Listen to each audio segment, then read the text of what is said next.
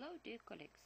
Let me present you the report prepared by a team of authors from Hetman Petro Sahaidachnyi National Army Academy and Lviv Polytechnic National University. Topic of the reports is Information Reference System Creation Prerequisites for the Ground Forces Identification on the Battlefield according to NATO standards.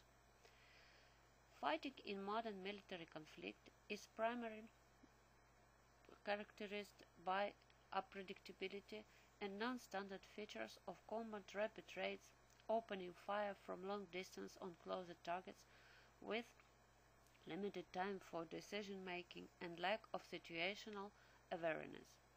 This leads to the fact that under the influence of objective and subjective factors there is a high probability of getting under friendly fire.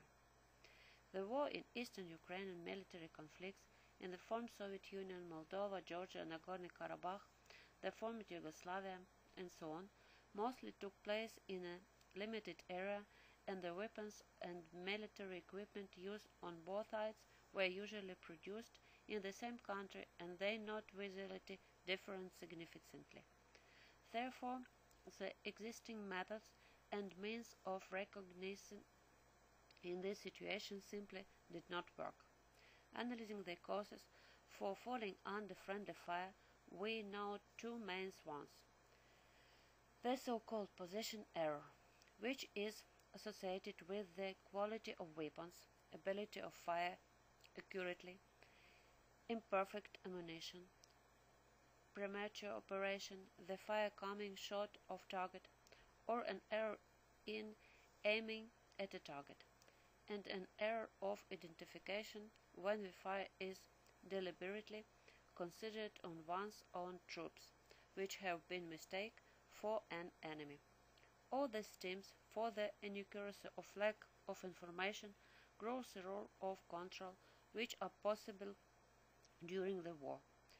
The inherent feature of mobile combat with the rapidity of fire exchanged, which do not leave time for reflection, also plays an important role. The application of the relevant basic doctrine to prevent troops from falling under friendly fire during intense battle at first glance is quite simple and includes tracking for the control points the recording of friendly forces, constant monitoring over their movement and location, determining the location of enemy position by collecting information in real time, division into friendly and enemy by means of surveillance and aiming system or by other special systems. In case of receiving a positive identification, opening fire on the target. Unfortunately, practice shows that this task is quite difficult given the negative impact of a number of factors, namely, modern offensive military operations are carried out at a very high pace and around the clock with the movements of troops in unfamiliar terrain in conditions of limited visibility. Most combat closed and fire exchange occur rapidly with shelling of quickly moving targets over long distance. Rarely, unlimited combat range of the weapons significantly affects the ability of the shooter to destroy the target when determining a positive identification, despite the presence of thermal detection, especially in the desert and steppe zone. Error fire real-time determination of their own location, as well as friendly and enemy forces is determined not only by visibility conditions, but also depend on the orientation and the availability of sufficient time for commanders to form a clear idea of fire exchange with the enemy.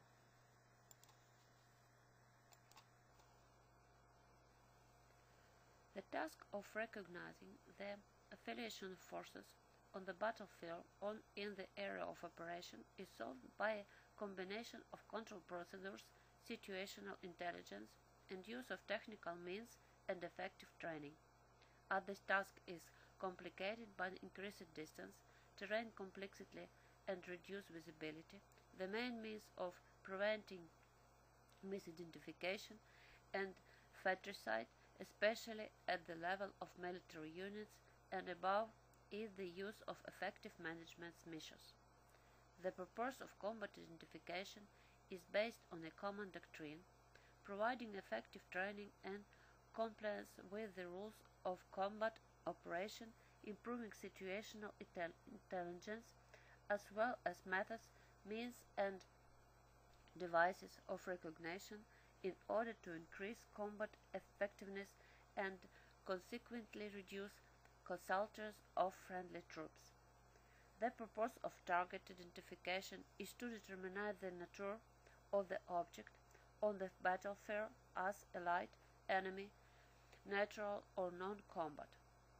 Much identification of ground forces on the battlefield is carried out by establishing a stable relationship and the use of certain methods and methods of control, namely control of forces and means in combat, automatic and manual request and response system, personal training, and battlefield management system. Allied forces are identified and recognized by many means. The effectiveness of these tools directly depend on the training that commanders and fighters undergo before the operation. Such means include identification of configuration of personnel and armaments, dynamic of action, time parameters, sound characteristics, electronic radiation, infrared spectrum, signals, information about the deployment of troops, group panels, pointers of combat identification, and so on. Combat identification CID devices of NATO members emirs are used in accordance with established identification algorithms for the identification of allied troops. These devices help identify friendly troops on the battlefield or in the combat zone to reduce the risk of striking coalition forces. CID devices can unmask formation position, so they should used or activated for a limited or fixed period. Time limits for the use of these devices are set at the appropriate command level.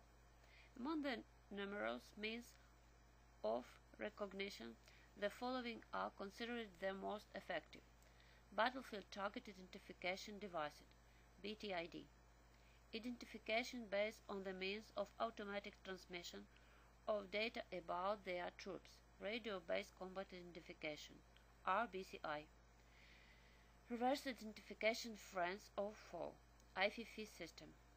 Recognition by means of radio tags Radio frequency identification tags RF tags Standards methods and producers for the use of means and devices of combat identification include Combat Identification Panel, Combat uh, CIP, Identification Terminal Panel, Terminal Recognition Beacon, Emitters of the Near Infrared IR spectrum, Reflective tapes or Reflective Near Infrared spectrum, Vehicle Marking System.